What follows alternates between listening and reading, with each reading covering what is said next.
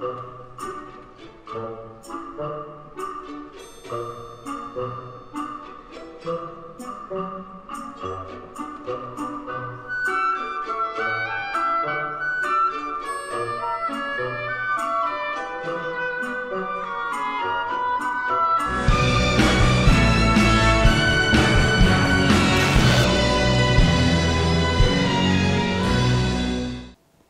Ну, начнем с того, что мы заканчиваем 236 сезон. И м, я очень рад, что наш театр, несмотря на свой глубокий возраст, остается молодым. А, Придумываются разные проекты, придумываются разные спектакли.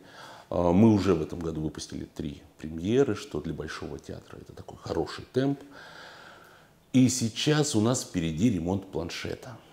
Ремонт планшета это означает, что мы не сможем играть спектакли на основной своей площадке. И, увы и ах, хотя зритель сейчас ходит в театр, а, был придуман новый проект, который сейчас ставится, который репетируется. А, Не бесталанный режиссер Юра Печенежский. А, Вы его знаете по постановке «Двенадцатая ночь», по постановке, которая пользуется спросом, молодежный, музыкальный. И мы пригласили его поставить «Утиную охоту Вампилова», но в необычной обстановке, в нашем декорационном цеху. Это тот цех, где расписываются декорации, где пишутся большие задники, где работают художники. И вот там будет спектакль под самой крышей театра. Это будет, знаете, я очень надеюсь, что это будет интересная постановка, и точно она будет интересна зрителю, даже потому что это как бы театр изнутри. Совсем другое понимание, совсем другое ощущение. А, Мне кажется, вот это новшество, действительно новшество для нас. У нас не было спектаклей, которые а, ну, были в необычной обстановке. Да? А Что касается других новшеств, мне бы хотелось бы отметить такую вещь. У нас появился спектакль. Я даже не знаю, как, как правильно назвать. Спектакль, променад, экскурсия. Это такая бродилка, не бродилка, не знаю. Ну, в общем, появился спектакль, который проходит по закулисью театра. А, Ну, и по закулисью, и по зрительской части, по всему театру. А, Спектакль ну, давайте так скажу. Эта тема давно была востребована. У нас постоянно были обращения к нам, что просим вас сходить куда-то на экскурсии. Иногда мы это делали, но это все равно были такие точные вещи. А Сегодня у нас есть уже более такой продукт, назовем это так. Этот спектакль был создан совместно с продюсерским центром «Место действия». Люди ходят в наушниках, с ними ходит проводник. Люди поют, люди слушают, а, люди представляют. Я не хочу раскрывать всего. А, Скажу так, билетов не достать. Билеты расходятся буквально, вот мы выставляем 5 спектаклей, за сутки билетов просто нет. Сейчас вот в мае опять, сегодня, наверное, будем выставлять. Думаю, что это тоже вот разойдется буквально за сутки. Новая вещь, абсолютно новая вещь. И это направление, я думаю, мы будем еще развивать. Вот вы сказали, что во время променада этого закулисья люди будут ходить в наушниках. Насколько я знаю, в театре закупили оборудование для слабослышащих. Да, да. Это немножко, конечно, другое оборудование. Это специальное оборудование для тех, у кого есть слуховые аппараты, для тех, кто, у кого нарушение слуха. Это государственная программа. В театре пробро- пробросили специальную петлю во всем зале. И в любой точке зала можно с оборудованием для слабослышащих смотреть спектакль и слушать полноценный звук. Впереди лето, сезон отпусков. А как люди театра проводят межсезонье? Ну, отпуск у нас тоже есть, но, знаете, это такая... а, Мы на самом деле много работаем летом. Это так кажется, что театр закрывается. Во-первых, сейчас люди перестали, как раньше, знаете, летом в театр не ходят, ходят. Уже вот последние несколько лет в театр летом ходят. Но, как я уже сказал, у нас будет ремонт на основной площадке, поэтому будем показывать на малой сцене, будем показывать вот этот проект в декорационном цехе, а будем проводить экскурсии свои, да, свой спектакль экскурсии. Мы будем гастролировать, мы уезжаем в Таганрог в июне месяце, мы будем участвовать в фестивалях. И уже где-то 10-15 августа мы выйдем из отпуска, мы в этом году чуть сдвинули отпуск пораньше, выйдем, и я думаю, что мы начнем прямо сразу после выхода из отпуска, начнем показывать спектакли. Давайте поговорим о вот этих вот гастролях. Поедете в Таганрог с какими постановками? А, мы поедем в Таганрог с а, спектаклем «Час тишины», «Доходное место», «Царевна лягушка», «Поворот».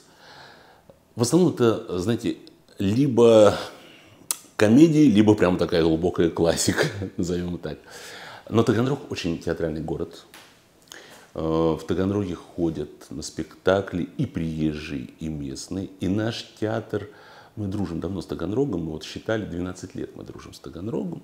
Не все 12 лет, конечно, мы каждый год переезжаем друг к другу там, да, но часто. А, и при этом интерес к Рязанскому театру драмы в Таганроге очень высокий. Мы всегда работаем там на аншлагах. Это здорово, это красиво. И э, мы вообще по Ростовской области много работали. Но Таганрог самый любимый, наверное, наш город. Вы сказали, что будете принимать участие в фестивалях. В каких? Точно известно, что мы едем 19 мая в Тамбов на фестиваль, единственный фестиваль, кстати, в стране, который актерский.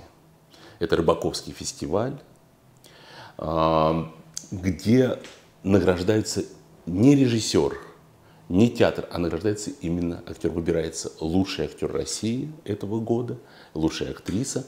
Там есть премия. А, мы не первый раз едем на этот фестиваль, и у нас были наши а, актеры удостоены там награды. Я надеюсь, что в этот раз мы едем с женитьбой. Надеюсь, что тоже получим награду, конечно же. Сейчас мы попали уже в лонг-лист фестиваля э, Каледа Плейс.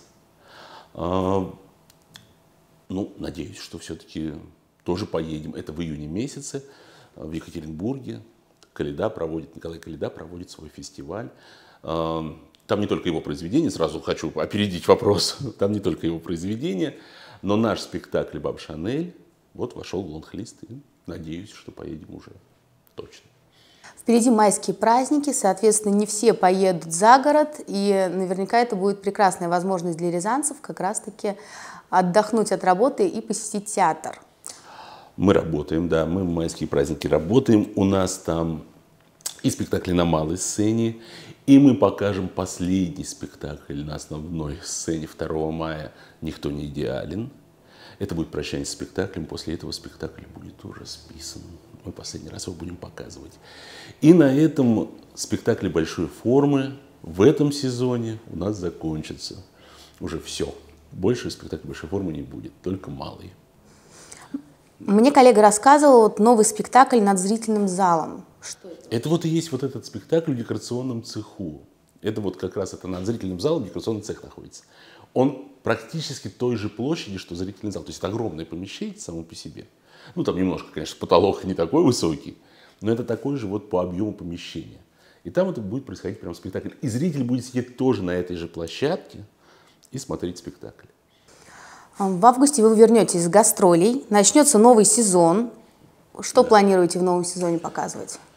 Мы откроем сезон «Матросской тишиной Галича». А, это будет 20 сентября. Мы открываемся. Это очень э, серьезная вещь, очень вещь, э, как вам сказать, семейная, э, философская, и это вещь, которая в том числе ставится у нас а, как такая юбилейная, бенефисная роль а, Юрия Михайловича Борисова. Артиста, которого много, многие любят, на которого многие ходят. И это будет его вот прямо его роль. его. Это новый спектакль? Абсолютно, да, это будет премьера, конечно. Это будет премьера. Вот так что 20 сентября это будет открытие сезона ну, премьерой. Сделаем прям анонс на майские праздники. Дорогие друзья, пока мы еще не закрыли 236-й театральный сезон, мы вас ждем на майские праздники и вообще в первой половине мая. А, мы ждем вас прежде всего на спектакль «Никто не идеален», 2 мая, вот то, что я уже говорил, это прощание со спектаклем, это последний раз. Это всегда стоит посмотреть, потому что больше его не будет. А, я танцую как дебил, у нас будет 6-7 мая, тоже очень любимый такой зрителями спектакль, там всего 84 места. Поэтому я даже не знаю, уже остались ли билеты, честно скажу, потому что они расходятся очень быстро. Молодежная вещь, очень хорошая. Конечно, мы ждем на историю любви на малую сцену, на двое в поле на малой сцене. Приходите, мы будем рады. Спасибо вам большое за беседу.